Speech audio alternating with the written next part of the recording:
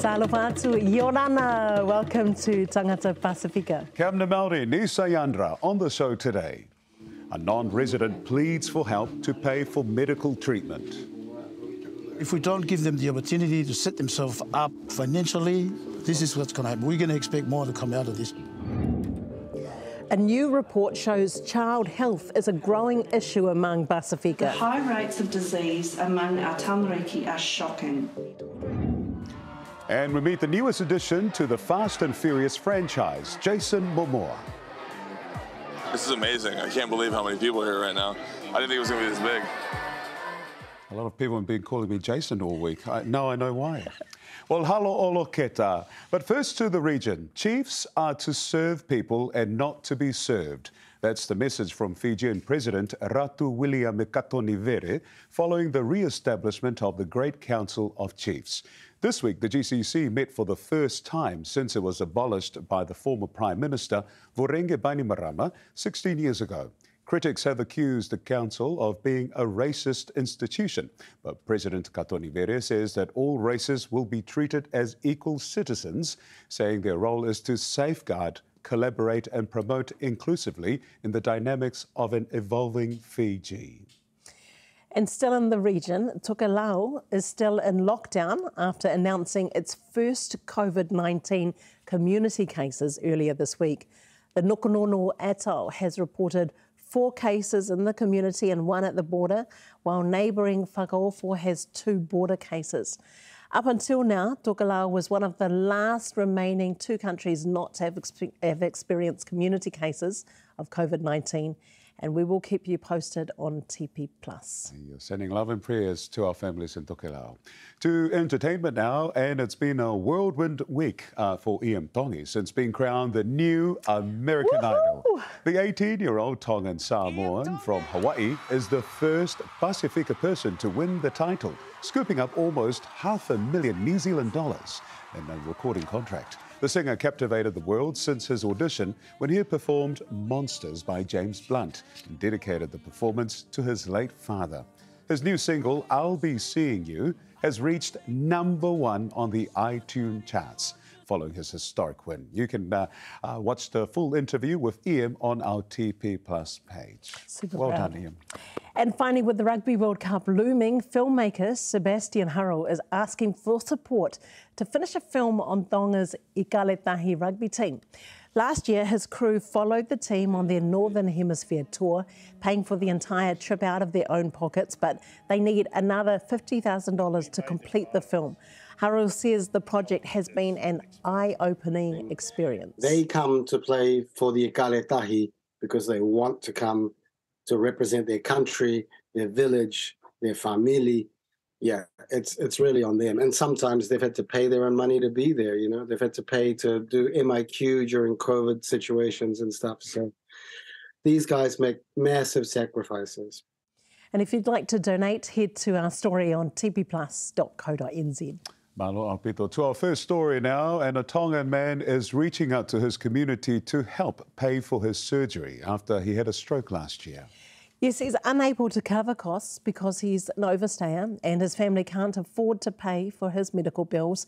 As John Pulu reports, an immigration lawyer says this isn't an isolated case and there are more in the same situation.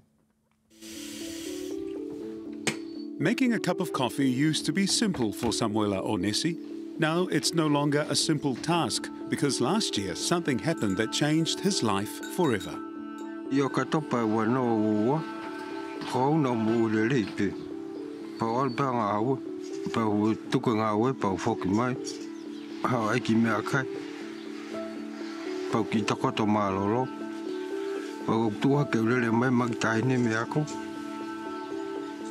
mai ko ia toi. The 50 year old had a severe stroke and required surgery to remove a blood clot blocking the flow of blood and oxygen to his brain. me ko mo ni ke ki to ira ka ha me ko sto ko to ko ko nga pe ha mate.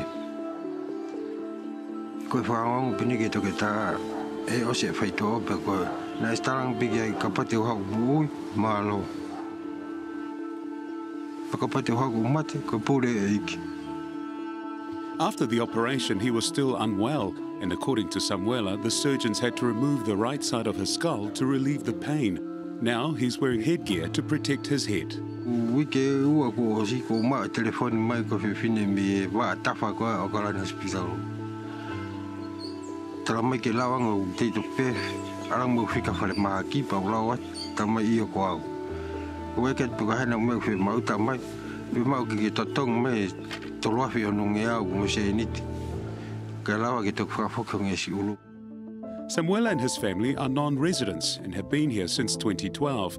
And while they couldn't get their residency, they worked and paid tax just to get by. But it's not enough, especially with the expensive medical bills.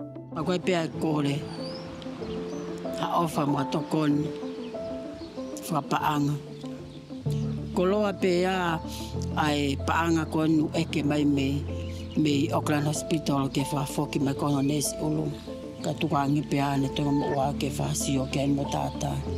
Ko kore pēa mo e whemau. However, she says they're not alone and they've met others who are in a similar situation and can't afford to get medical treatment because they're here unlawfully. A lot of the people that I know who are overstayers, uh, they don't go and see the doctor. So that's one of the things that I get them to do before, uh, if I start doing work for them, I advise them to go and see the doctor. If they've got a condition, to get it treated before we get to the stage where immigration asks for that. Her advice is to fundraise and to not be shy to ask for help. It's some remedy for Samuela, who is desperate for any support. What we've done already is, uh, is food, put some food on the table, and take care of the medical bills because he needs the medication, keep going. Maka is part of a community movement who took a petition to Parliament in 2020 requesting a pathway for overstayers under compassionate grounds to gain permanent residency in New Zealand. If we don't give them the opportunity to set themselves up financially by getting a decent job, legitimate type job, uh, so that they can look after a certain part of their bills, this is what's going to happen. We're going to expect more to come out of this. A community fund has been set up for Samuela to get his treatment done, but in the meantime, he has a message for the immigration authorities.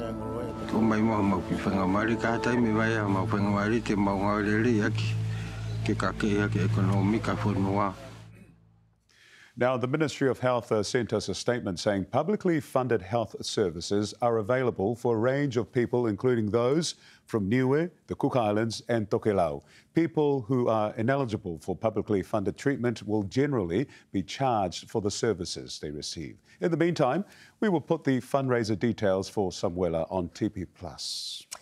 Okay, stay with us. When we come back, we celebrate New Zealand Music Month, also upcoming Samoan Language Week, with Ozkey in our Talanoa. And later, health experts call for more action on child health in Aotearoa. We need to tailor our services, tailor our way of doing things to provide better services for our people. And that, you know, requires different ways of thinking, different ways of delivering services, understanding how we are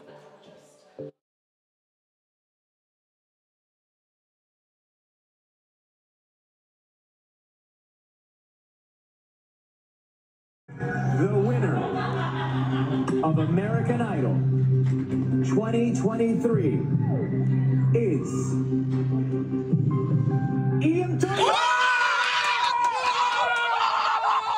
I never thought in my career that I'll have uh, this opportunity to interview an American Idol winner. Well, right now, as you can see in the other window, we have the one and only Iam Tongi. Iam, malolele, aloha and malo soe Yes, fua. man. yeah, it's just a crazy feeling to uh, be here now. Like it still feels like rehearsal, so it's kind of weird. Like it never hit in, I never set in yet. So it's it's it's, it's a weird feeling, but I'm so happy and uh, just you know so crazy and uh, so thankful to everyone that voted for me and uh, love all you guys. If your father, um, uh, Rodney, was alive today, what, what would he say right now to you? I'm not sure, you know what I mean. But after my brother won the, the uh, was state champ for wrestling, my dad was crying and or for judo, and my dad was crying, and he was so proud. And I imagine that's how he would be like right now. Well, I hope. And uh, Bless you, Iam. Tell me what, what goes through your mind when you're on the stage, when you're performing, because you're not just performing for the people in the audience uh, in the studio, everyone else all over the world are watching you. What goes through your mind and what gets you through the nerves and that? what do you think about these fools now? you, you think about these guys, you automatically lose your nerve. well, it's good to have your support crew, I guess. Nah, it's just yeah, we just like backstage we just crack a lot of jokes and we all just laugh and stuff and you know make fun of each other. What gets you through these big performances? Because you went to uh, uh, Hawaii, you got to perform with uh, Jack Johnson. Uh, you also um, have other big names that are there with you, and you graduated from uh, Kahuku, uh, your high school. Um, what gets you through this? Because, you know, as I mentioned, you're still quite young, but you seem to do it so beautifully. Just to like have Jack and them there and, you know, the Common Kings, Paula Fuga, and everyone that was there. It was just amazing know, John Cruz showed up. That was so cool. And, you know, we're just we're just jamming, honestly. We're just having a jam session. You even got to sing the, the song you auditioned with, Monsters, uh, with uh, James Blunt. What was yeah. that like for you? How special was that for you? it, it's crazy. I was like so excited when uh, I found out that, and they said it just casually. Like they were like, "Oh yeah, James James Blunt's gonna be your thing where uh, your rehearsal, duet. Uh, your duet partner, and I was just like, oh, like I didn't know how to react. But when I met him in person, oh my gosh, such a cool guy. He's such a cool guy and so humble. Where to from here for you? What What's your plans uh, now for the future? Um, my plans for the future is just have a lot of fun and just um, enjoy this ride. You know what I mean? And you know, maybe go to Tonga one day and uh, have a concert over there, something like that. And then Samoa and just, you know, represent my people.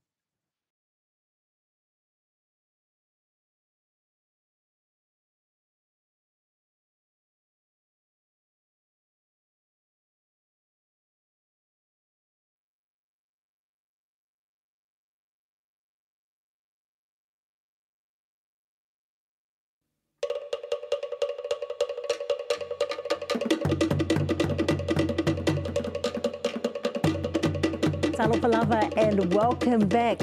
Well, today in the studio we have a special guest to celebrate New Zealand Music Month, also Samoa Language Week about to kick off.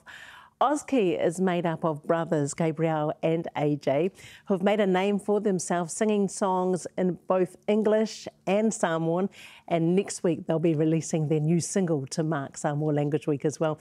We welcome one half of the duo. Gabriel, thank you for joining us in the studio. Talo Falava. Talo Falava Malama, thank you so much for having me. Our pleasure, totally. You know what I love about you guys, Ozkey, mm. is how proud you are in representing your culture to the world. Of course we have to be proud.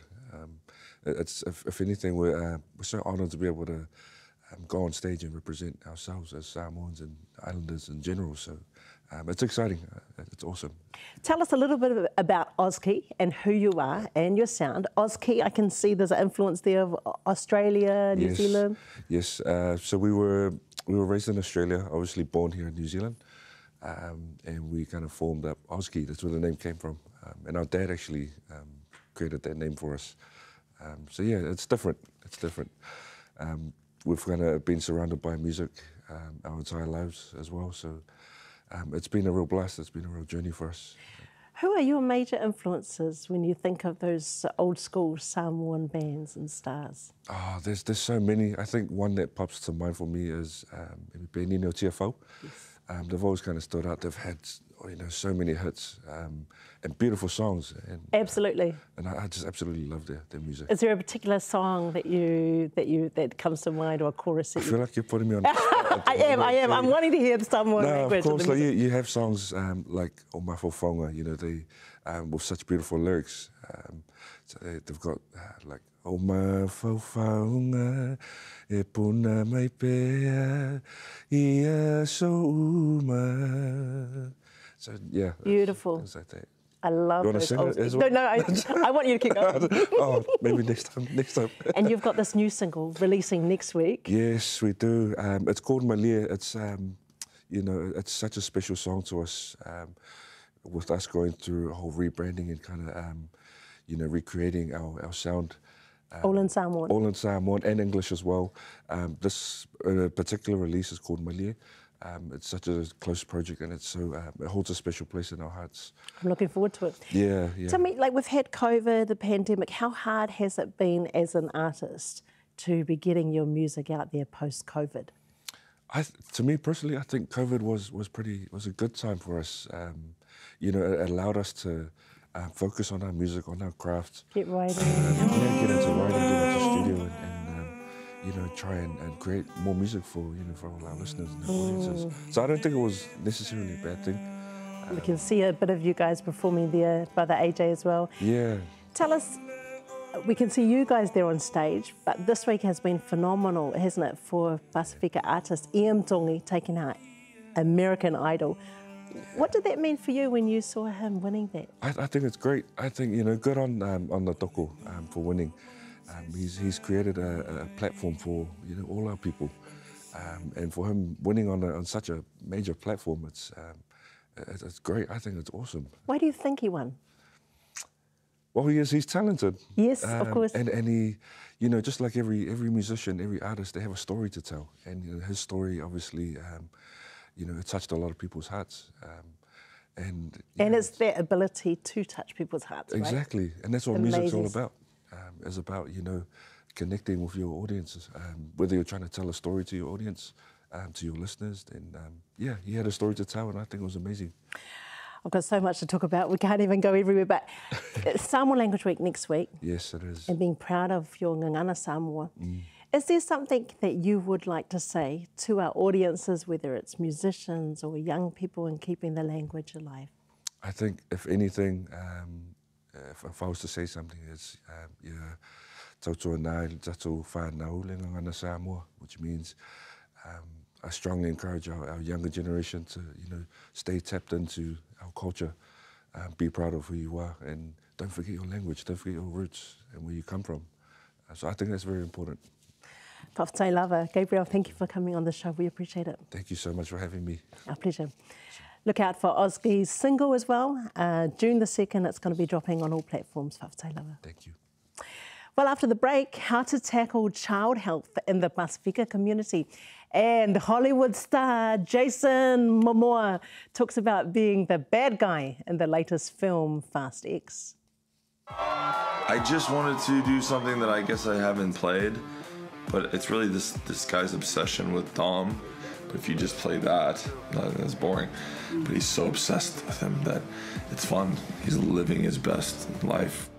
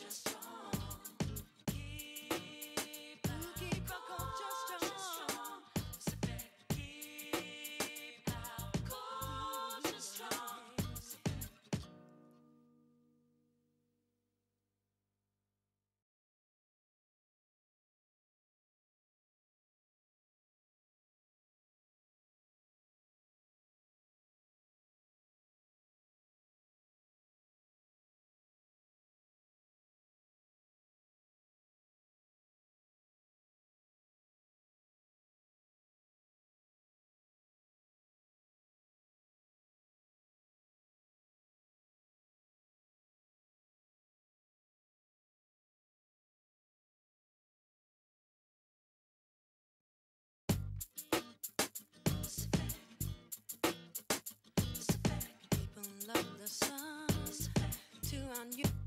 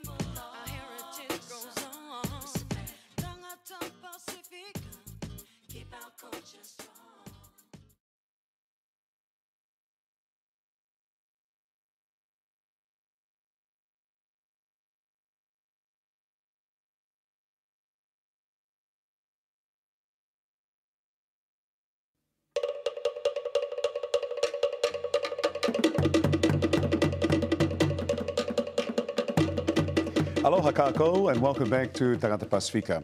To Health Now, where the charity Cure Kids released its third annual report this month, revealing an alarming trend among Pacifica children. That's right, the report, it's called State of Child Health in Aotearoa, New Zealand, found major inequities in our health system and Pacifica and Māori children are most affected. Soana Aholelei has this story.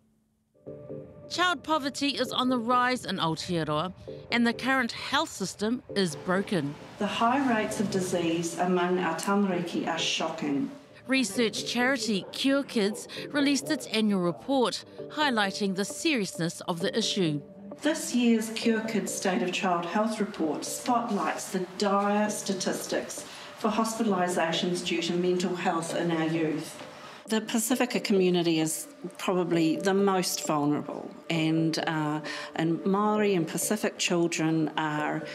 Uh, the worst in all of the statistics when it comes to skin infections, admissions to hospital, uh, rheumatic fever, rheumatic heart disease. The report found that Māori and Pacifica children in low socio-economic areas are the worst affected, at risk of respiratory diseases, skin infections, and mental health concerns.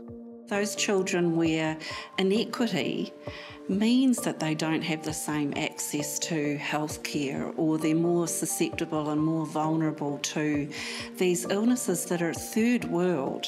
You know, children shouldn't be being admitted to hospital for skin infections. Cure Kids chair Professor Terryann Clark says more needs to be done for Pacifica youth. If you were to ask most people in the community, they wouldn't be surprised to know that mental health is really taken a dive for Pacifica young people. I guess what we didn't know was the magnitude of difference here. And so, a doubling of mental health related hospitalisations and a five times increase in our um, young people saying that they had serious psychological distress. It's, it's alarming. The report emphasising the need to go back to basics. Getting our people in warm, healthy homes from the housing stock. And that will not just prevent this, but it'll just keep child, children, any child healthy or well. And that changes to the current health system could be the answer.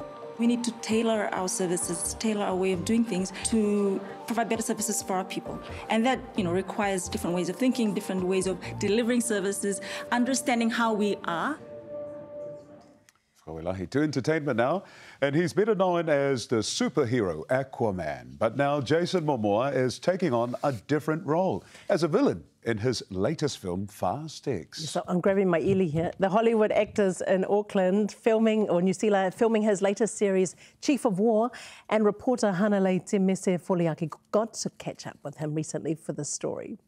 Da, da, da, da, and a one, and a two, and a. Buckle up, folks. We're shifting gear. Trading his hero's trident for an evil grin, Jason Momoa is about to dive headfirst into the shadows, taking on his new role as villain Dante in the latest Fast X film. I'm Dante. I'm Shantae.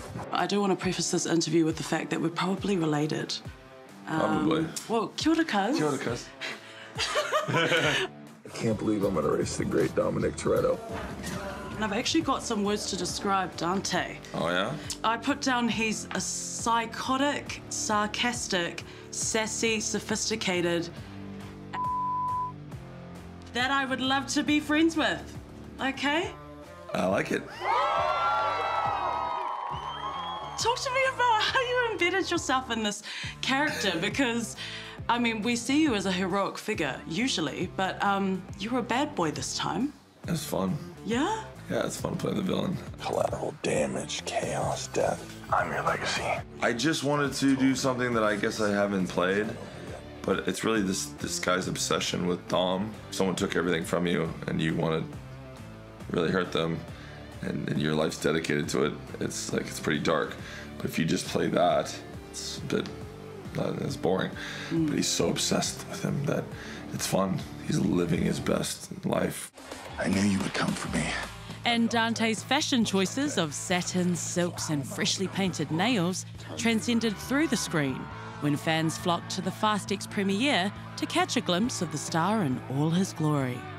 I just want to see him in person. And hopefully he does break out into a haka. I want to say, um, I love you, Jason. And then he arrived. You're not in Rome with your crew? What is, how are the New Zealand fans treating you? This is amazing. I can't believe how many people are here right now. I didn't think it was going to be this big. Big to say the least, as he was supported by a proud handful of New Zealand A-listers. He's a multifaceted, really talented individual as, a, as an artist. He's not just an actor. You know, he's a photographer, he's a mountain climber. You know, he has very, very many passions. That's my son. That's my son. There he is right there. And as he showered New Zealand fans with love, it was only right to share the love right back. My late grandmother, Langi Langi Ato Whaiono, would always say, Au maise oso, which translates to bring me a gift whenever I would leave the house. And so today I've brought you a gift, cousin. Thank I you. really have. Wow. And this is a traditional kava bowl. You've probably seen many of these Wow. before.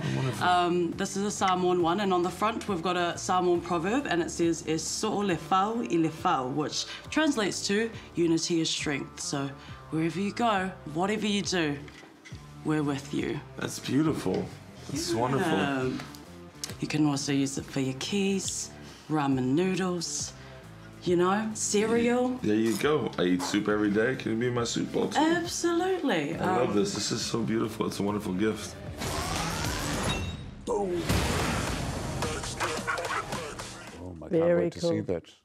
Are you, you're trying to do a. Oh, no, no. Jason Look, for clarity, uh, Marama, people have been calling me Jason. We are twin brothers. Yeah. Yeah, yeah, yeah. He- yeah. He is everyone's cousin. And beautiful interview, by the way, Hannah Lane. Well done, well done. What a great show.